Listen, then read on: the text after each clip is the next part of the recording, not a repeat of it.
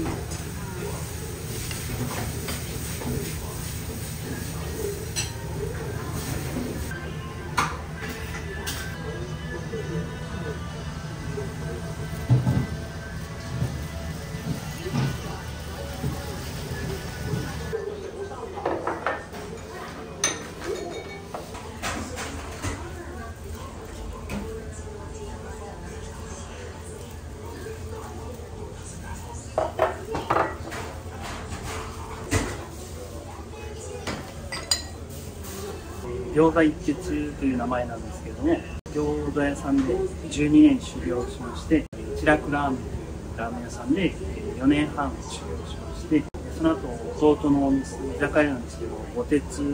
いうところで半年ぐらい勉強させてもらったんですけどもそれぞれの名前からワンサン餃子の餃子一楽ラーメンの一五鉄の鉄を取って餃子一徹という名前になりました。36歳までラリーマンをしてたんですけどどうにも性に合わなくて自分で商売したいと思った時に、まあ、先にあの商売してた弟たちにちょっと相談するとそれは絶対ラーメン屋がいいよとまあいろいろ考えて最初あの定食屋さんとかをいろいろ食べ歩いてたんですけど結局やっぱり自分もラーメンが食べたいなと たどり着きましてラーメン屋やろうというになりました。餃子のお店で12年というのがサラリーマンだったんですけどここではま製造販売卸大体もう営業ばかりですね。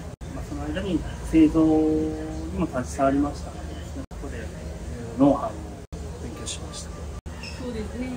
えっと、最初はびっくりしたんですけども彼の一度きりの人生なのでやりたいことをやらせて、えっと、仕事で楽しんでもらいたいと思って私も一緒に協力して頑張っていこうと思って夫婦一緒にあ不安ですか？いや彼ならやりきると思ってますので信じています。大気男性型なので。まあ、名前、看板にも出てるんですけど、餃子が一番おすすめです。日々ですね、美味しくなるように、いろいろ食べ歩いたり、本とか雑誌とかを見てですね、レシピをいろいろ試しながらですね、さらに美味しくなるように研究しながらやってます。2日かけて炊いてるあの、豚骨ですね、スープ、ラーメン、ちゃんぽん、味噌ラーメンいう3本柱で、特にですね、ちゃんぽんが、やっぱり出る量もちゃんぽんすごく多い。夫婦で頑張っておりますので、ぜひ食べに来てください。食べに来てください。はい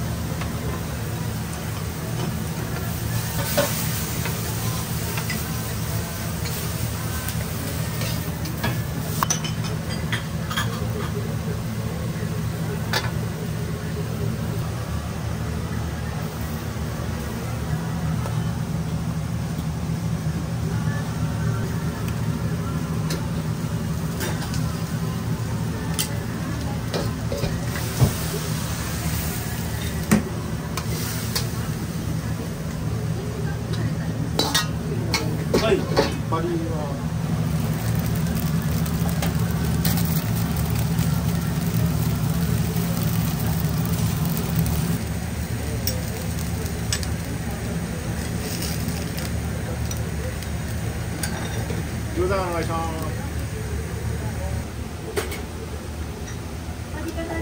はよ。